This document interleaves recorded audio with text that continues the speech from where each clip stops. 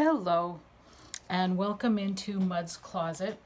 Today I am starting seeds and I thought I would just show you a few of the different ways that I do that and with what I do it with, what things I recycle and reuse and which things I don't.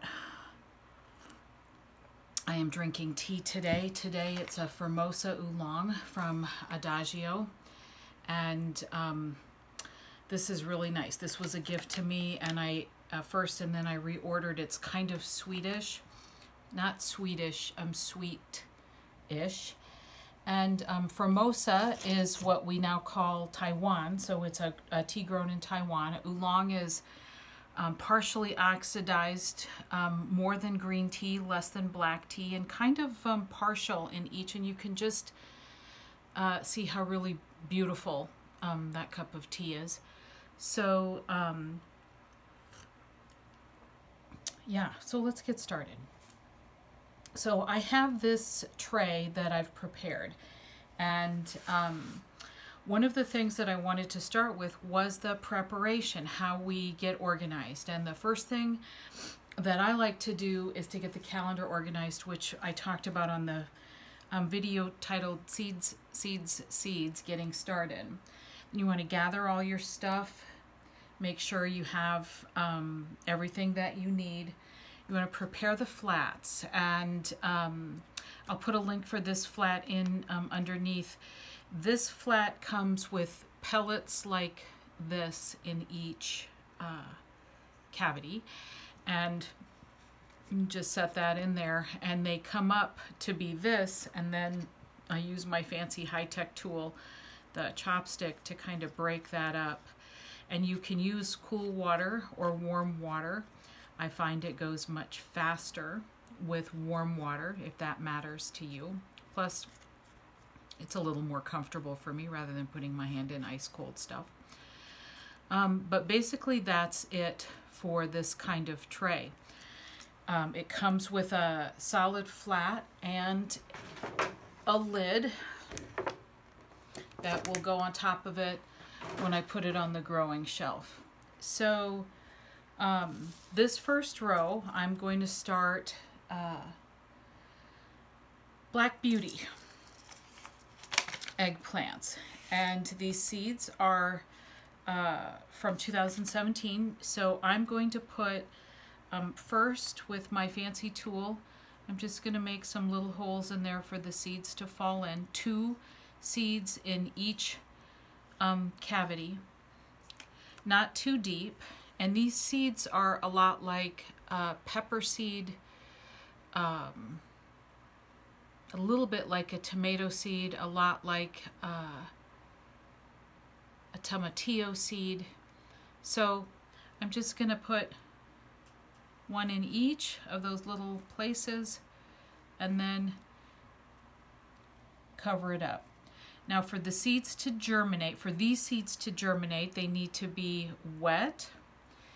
Um, there needs to be some moisture and they need to have contact with the soil and um, they need to be warm. So that's why these will be going over the heating element. And this really is all there is to it. And yes, I um, did spend some time preparing before I started the video, but not a whole lot. And um, and that's it. My dad always used to say when you bury a seed, you want it to be two to three times the size of the seed deep. I hope that made sense. Um, so small seeds don't go very deep. Large seeds go uh, a little deeper. So this first row um, is planted and I'll come back and do that um, that one as soon as it, it expands. But I have these from last year. I'm reusing them. I just have Black Beauty and the date and I'm going to put that right in there so that I don't miss it. Um, this particular setup came with some papers uh, that that were blocked out like this, but I didn't see them until I poured the water in um, underneath to get the little pellets to expand. So I, I ruined those. Uh, but sometime you can draw out a map, and if you do that, it's important to designate, you know, what side you're on. Um, so when I do that kind of thing, if I'm drawing out what I have here and there, I'll put some sort of indicator in so that I know this is the row that has that where I'm starting from. Um, I also use popsicle sticks and my Sharpie to mark rows if I need to. Um, the next thing that I'm going to do is this um, California Wonder. And all peppers, uh, all sweet peppers, I'll say, um, start green. And as they ripen, they ripen to different colors. So um, we really like colored peppers. Um, we use them a lot. I really like the sweetness of them. And so I'm going to do the same thing. I'm going to put two or three seeds in each cavity.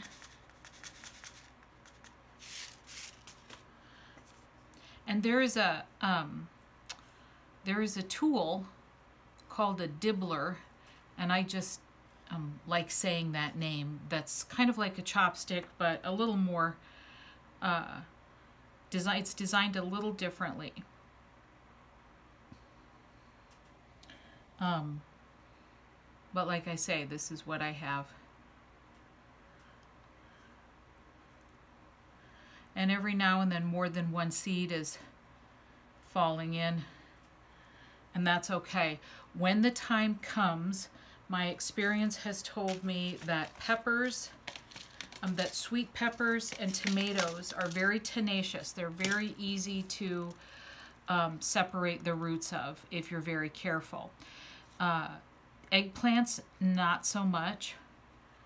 Other items, not so much. Um, some, some root structures are really fragile, and when you try to thin them out or separate them, you damage all the plants. So if that's the case, if I have more growing, say, in the eggplant um, cavities that I want, and the roots become entwined. If I try to separate them or tease the roots apart, I damage them. So in that case, I would just use my scissors and snip all but the strongest plant. And there's my California Wonder Red. I'm going to just put that in there. And I don't want these packed down too tightly, but like I said, I need to have the soil in contact with the seed in order for it to germinate. And then I'll, I'll just um, work my way down. So that for now is good. Next, and I'm going to just work right here, I want to plant some greens. So um, I have already some soil in here. I just want to break it up a little bit. I have had some water in here um, this pot is something that I had some things outside in uh, last year. And I'm just, I added a little more potting soil to it. A little bit of compost. We do compost virtually all of our compostable items. Um, and we get compost from the city compost every spring. I think I, I just got some stuff in my tea, but that's okay. All right, I'm to just dampen this a little bit. And um, I just want some greens in here. And this is the kind of thing that we can be clipping as soon as they start to come up. And the things that I have here to plant, I have uh, from the Seed Savers Exchange. This lettuce is called Flame and it's red.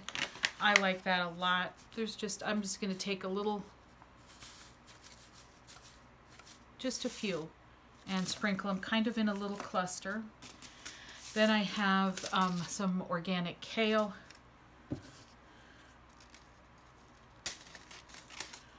And again, these seeds are a little bit different and I'm just going to sprinkle some of those in.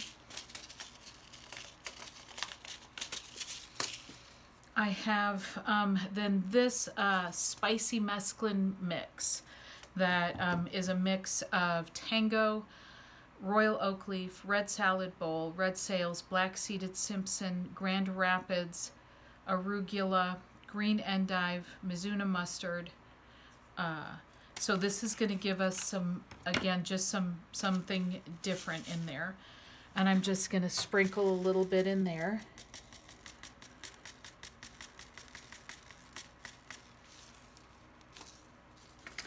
And then uh, lastly, I just want some black seeded Simpson, and this is just a little package. Black seeded Simpson is like a very common um, lettuce. It grows well. Just going to sprinkle that here and there.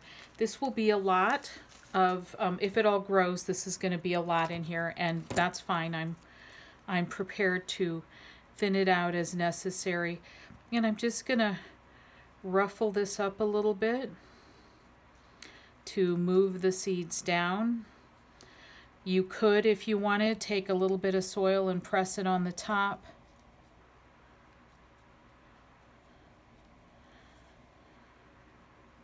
I do have plans for floating row covers and um, some cold frames. We got some windows um, free, we salvaged.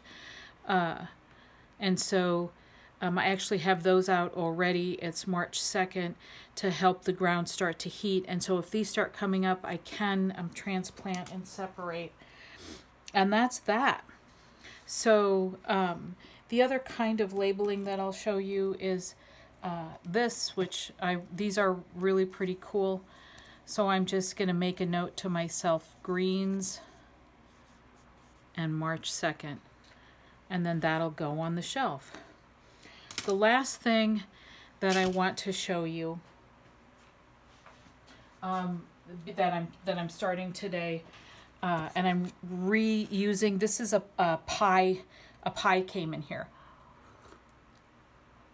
and I um, wanted to plant some leeks.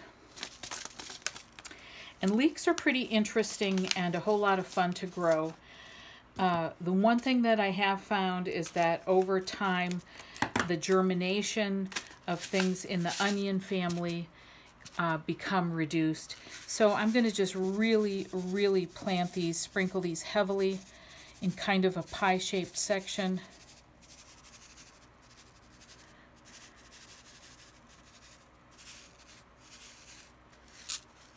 I'm just going to use that whole pack. I'm going to take a little bit of this and I'll refill that and just lightly cover them.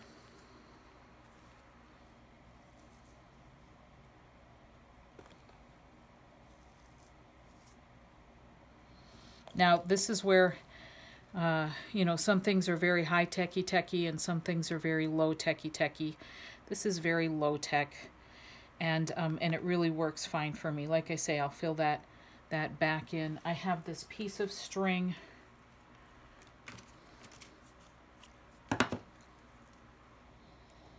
that I'm just going to designate there. And once they start coming up, I will recognize what they are. Uh, I have a little stick there that says leeks. And then the plastic lid will go on top of that to help um, keep the heat in to germinate. And I just have this lid from a coffee can that'll go on um, on the greens to just keep some heat in and keep things dark while these seeds are germinating. And then once they germinate, this will come off. It's something that my mom always did and it works amazingly well. It does not work for every type of seed because some types of seeds need light in order to germinate. So you want to know if that's the kind of what whatever it is that you're growing. But otherwise, that's just going to set right on there and go on the shelf with some heat. The lids will go on these and go on the shelf with some heat. And um, I'll show you the progress. If you have questions or um, want to see something specific, let me know. Uh, the other thing that I wanted to say uh, right now is that I got these pots from the Dollar Tree. There's eight of them for a dollar and they're four inches and they also have a larger one that I think has six in it, six pots for a dollar. They're very, um, they're pretty thin, like, like pretty thin.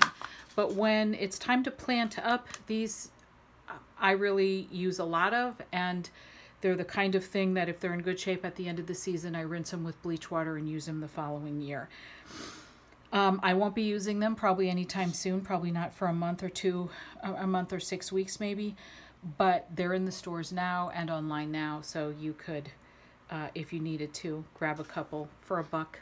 I just, I feel like that's a good investment to have on hand. So that's all. Leave me a comment. Um, get some seeds started and uh, tell me what you're doing. Have a great day. Thanks, friends.